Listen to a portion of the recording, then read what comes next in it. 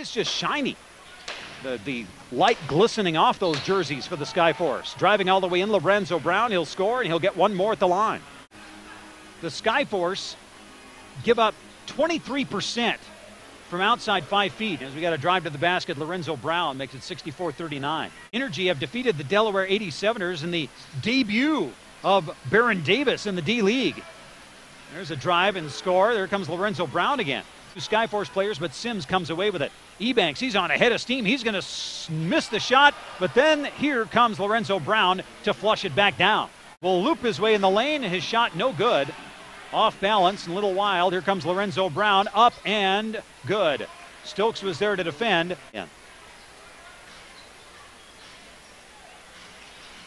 On the other end, here's a drive and score from Lorenzo Brown. Ball is stripped loose.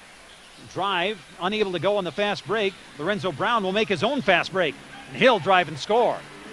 Lorenzo Brown, clock under three minutes left in the period as Paulo harasses Brown, but Brown scores anyway.